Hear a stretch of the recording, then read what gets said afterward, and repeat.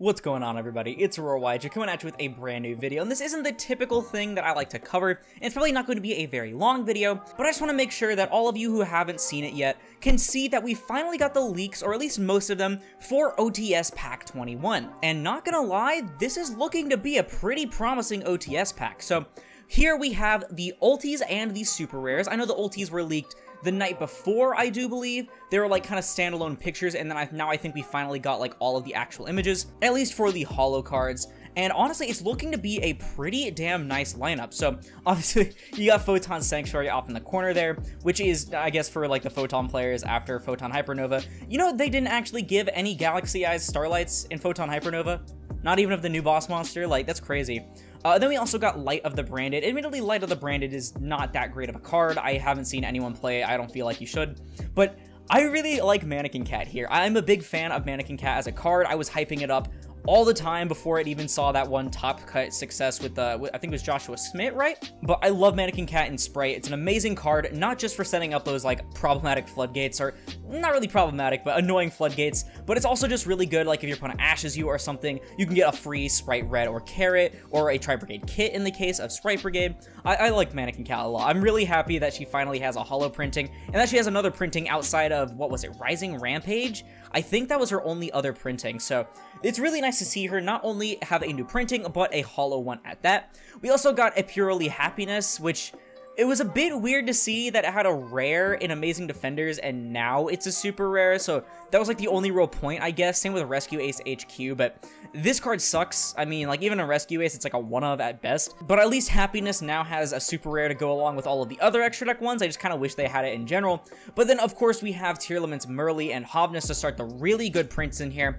These are probably going to be some of the more chase cards, especially in terms of these supers, because you know Tier is still the best deck, and then these cards only have commons otherwise. And of course, top players are going to want to bling out their deck as much as possible if it's a deck that they really want, or if they really just want to flex. I also don't know exactly what this counter is. It's it's really weird because we usually get tokens, but instead we're getting a counter, and I'm very intrigued to see what this counter is for, because, I mean, maybe it's for, like, this is very, like, off chance, like, it's very, very unlikely, but maybe it's for Kashtira in order to show which zones are blocked, I don't know, but it's just so interesting to see counters because it doesn't look like it would be a Predator counter because Predator counters I think have a distinct look. Not to mention that counters are usually not supposed to be big. Like, unless you're stacking them under the card like an Xyz material, it's like, why would you have a whole card as a counter?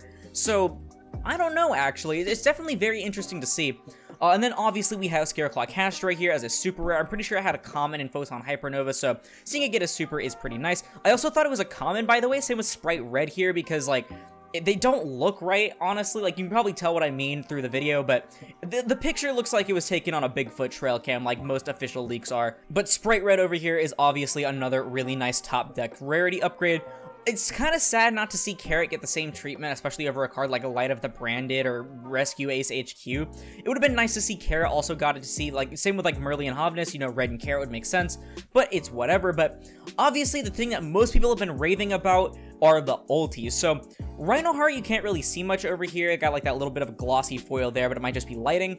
Uh, but between Fenrir and especially Blue, these are some gorgeous ultimate rares here. So maybe I'll try to open a new tab here. Hold up. Okay, so I have it zoomed in a bit so you can see my bar at the bottom, but these are some absolutely gorgeous ultimate rares. Like, like look at the sunbeams or whatever coming out of Fenrir. That looks absolutely beautiful. But really, the swirls around blue are what everyone is raving about, and I can easily see why, because I think this is one of the only scenarios in which the foiling not being on the monster is actually very beneficial, because it gives it so much depth. Like, the swirls in the back really make it look like a nice gradient background, and then you have blue standing out so much on the artwork.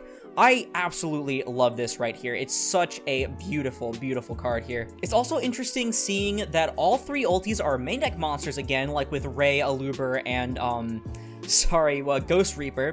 Uh, because for a while it was mostly extra deck monsters, so it's pretty nice to see that because having the main deck blinged out honestly is something that I really, really enjoy. But another thing I want to take away from this is that the fact that we all got scammed, or most of us got scammed so easily in the last reveal, because the last leak, I think it was Elf, Unicorn, and maybe, I think it was Reinoheart actually. I'm pretty sure the Reinoheart one ended up being correct, uh, but ended up being like Reinoheart, Elf, and Unicorn, which of course is wrong here, as we can see. So we all really fell for that, honestly, and so it really makes us like consider we have to be very careful when it comes to what leaks we believe, especially because these leaks can end up causing like massive changes in the market, which, which, you know, I'm not a market channel, I'm not a financial advisor, and I didn't even get my TCG affiliate code that I asked for, but leaks leaks can end up doing huge things for the market, which like sometimes that might be the intent, but I'm pretty sure most people just want to troll or get some sort of clout. But we do just need to end up being a little bit more careful because otherwise we could end up getting scammed out of some really nasty purchases,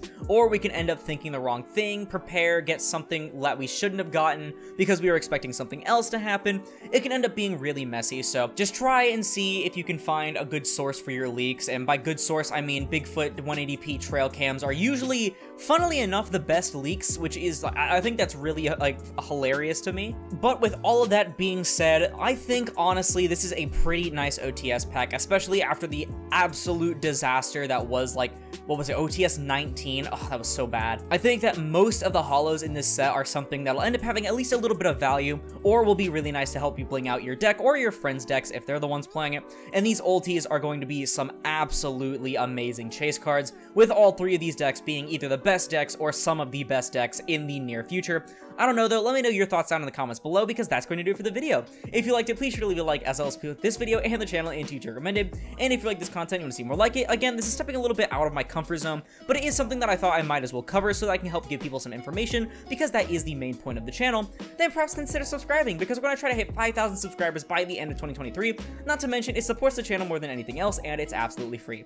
Let me know your thoughts, by the way, in the comments. Which of these reprints is your favorite? I know from the looks of it, we did end up missing A nimble Angler, which is going to be really rough. And then obviously, it, like, unless it ends up being a common, we missed Gishki Abyss as well, which honestly, I can see it more being a common than anything. But let me know your thoughts. What is your favorite out of these revealed holos? Uh, I really do want to hear. I think it'd be really awesome to hear people's thoughts. But once again, thank you all so much for watching, and I'll see you in the next one. This is Aurora, signing off.